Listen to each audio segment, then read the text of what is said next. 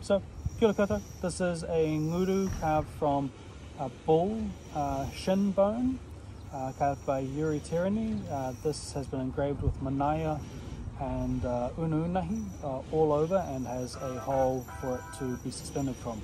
The nguru is traditionally played with the nose, uh, as hence the name nose flute, but I haven't practiced enough, so I blow it from the mouth hole, uh, and this one has three holes rather than four. They vary depending on the style.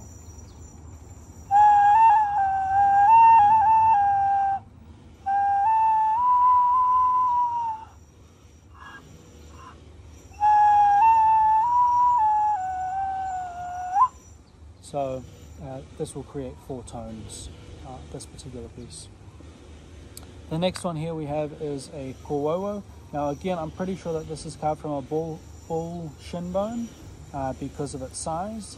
This has been engraved with pakati and takarangi spirals. Takarangi spirals are predominantly seen on the front of a waka or the rear end of a waka uh, as in a guiding, guiding uh, design. Uh, but it also has manaia and tickle tickle figures carved onto it. Uh, this should also give four, five tones.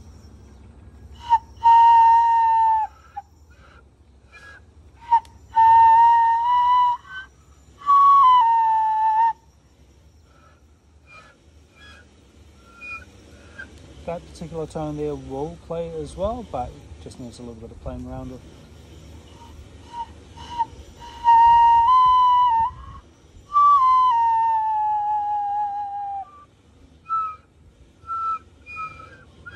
a little bit of playing around with. I don't play daily, I just make sounds out of them. This here is carved from a deer shin bone. This one is quite narrow because, so the narrower they are, typically the harder they are to play. But um, this one I think is easier to play with the end closed off.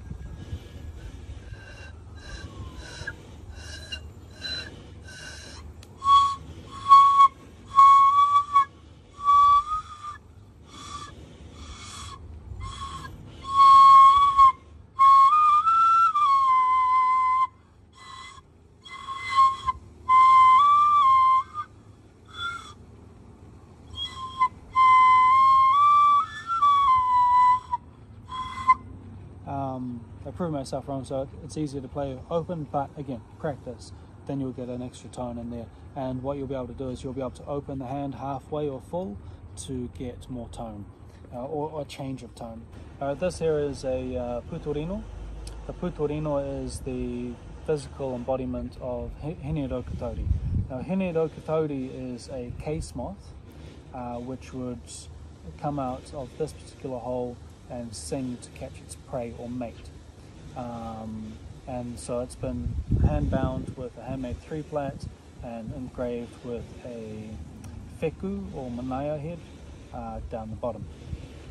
So this one here should you should be able to blow from all of these holes and create a couple of different tones. So the first one uh, traditionally I think is known as the trumpet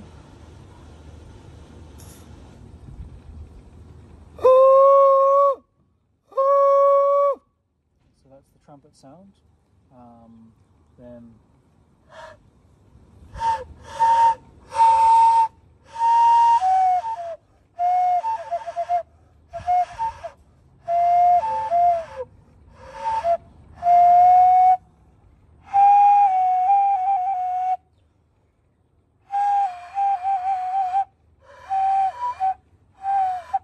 So uh, again, practicing and then you should be able to blow across the top to create another sound as well.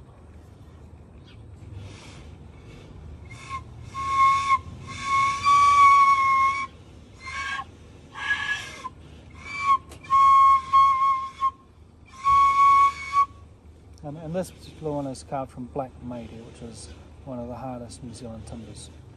Kia ora.